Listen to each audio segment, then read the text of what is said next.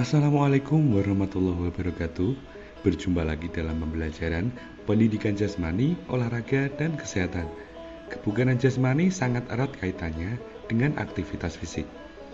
Kebugaran jasmani sering disebut sebagai kesegaran jasmani atau kemampuan seseorang untuk melaksanakan aktivitas sehari-hari tanpa mengalami kelelahan yang berarti dan dengan sisa tenaga yang dimiliki masih dapat menikmati waktu luang. Kebugaran jasmani memiliki komponen atau unsur kebugaran yang secara umum dibagi menjadi dua, yaitu komponen kebugaran yang berkaitan dengan kesehatan, antara lain kekuatan, kelenturan, daya tahan otot, dan daya tahan aerobik. Komponen kebugaran yang berkaitan dengan keterampilan, antara lain koordinasi, kelincahan, kecepatan, daya tahan otot atau power, keseimbangan, ketepatan, dan kecepatan reaksi.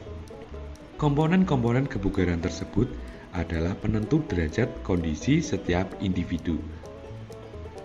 Seseorang dikatakan bugar apabila mampu melaksanakan kegiatan sehari-hari dengan optimal tanpa ada rasa lelah yang berlebihan. Aktivitas fisik yang dilakukan secara terstruktur sering disebut latihan kondisi fisik.